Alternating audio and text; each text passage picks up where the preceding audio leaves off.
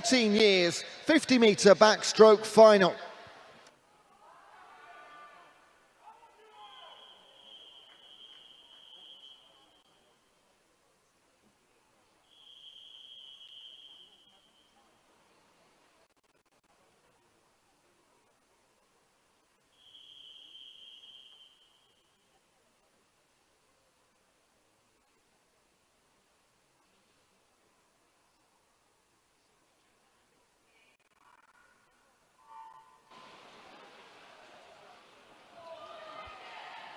Oh, well. I was going to say this could go absolutely anywhere. It certainly wasn't the best start in the centre of the pool.